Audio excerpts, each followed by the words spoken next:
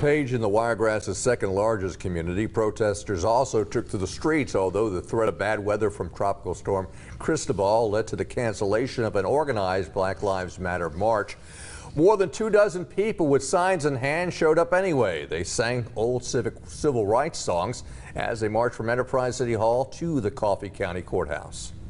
Now more than ever, people are getting up, fed up and it's all coming to a head. And you know, with all the all of this accumulation, uh, people are just feeling the need to, to speak out and make their voices heard.